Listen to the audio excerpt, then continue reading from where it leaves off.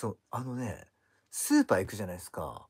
女の子が、結構中学生とか高校生とかが、もう明らかに、一人でいる高校生とか、なんか何人かで入ってきた中学生とか、なんか、あの、2人組ぐらいの高校生とか、なんか近くに来るんだよね。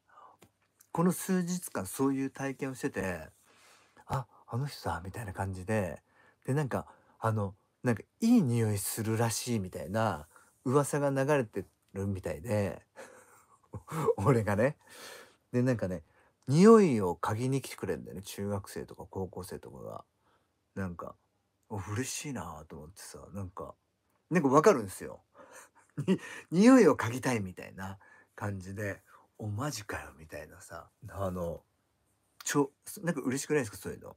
で、なんか、あ、なんていうんですか、スーパーとかってさ、こ、レーンになってるじゃないですか。で、明らかにさ、なんかあの、誰もいないわけですよ。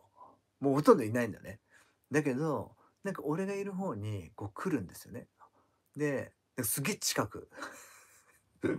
すげえ近くなんだけど、あんまり近くにずっといてもおかしいかなみたいな。だからなんかちょっと話しかけてもらいたいみたいな、そういう、なんか分かるじゃないですか。俺、あの、なんかやっぱ渋谷のシーマだったから。で、そういうのをさ、なんかすっげえ体験してるんですよ。ここあの、今ちょっとどこか言わないけど、そう、女子高生とか中女子中学生とかさ、が来てくれて、なんかそう、なんかね、ちょっと嬉しい。10代、20代ぐらいとかでも、のひ女の女の子た10代女の子？20代も女性だけどね。そう、なんか、中学生とか高校生とか、意外と人気あった。人気あるのが分かる。なんかそこが、あの、嬉しい。すげえ。俺なんか今揉めてんのに、なんあの、こういう感じなんだなと思って、なんか嬉しいなみたいな感じで。